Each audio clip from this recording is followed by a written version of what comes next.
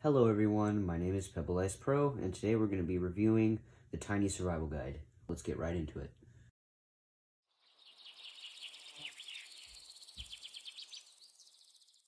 The two main things that you will receive with the Tiny Survival Guide is the survival guide itself as well as a plastic magnifier. Despite being plastic, the magnifier actually does a pretty good job.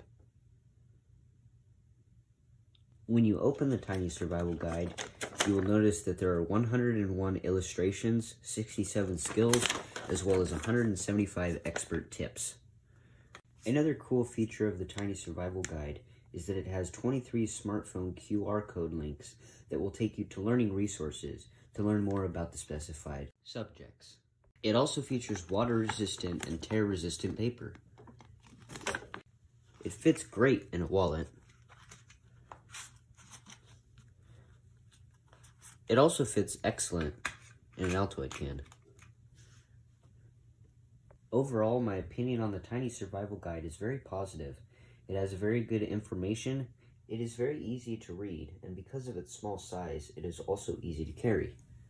But I think that's where we're going to wrap today's video up. Thank you so much for watching. Go ahead and leave a like if you enjoyed. Subscribe if you want to see more. And I'll see you guys soon. Take care. Bye for now.